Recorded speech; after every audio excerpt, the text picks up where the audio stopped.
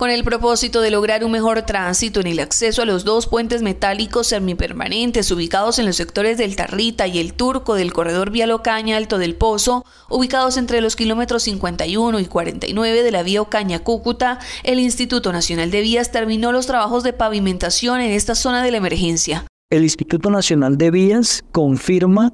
la terminación de los pavimentos en los accesos de los puentes El Turco y El Tarrita en la vía 7008 en el sector El Tarrita en norte de Santander.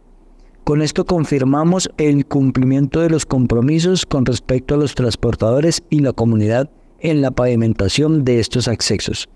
Asimismo, vamos a implementar la instalación de los bolsacretos como protección a la banca que se está perdiendo en estos puntos específicos de la emergencia del 31 de mayo. Ahora la expectativa entre los usuarios y transportadores radica en los estudios y diseños para un nuevo trazado y solventar la falla geológica, pues el río perdió el cauce y está al mismo nivel de la carretera. Transportadores y damnificados coinciden en afirmar que el problema está latente en un tramo donde el río cuando crece supera la cota e inunda la calzada.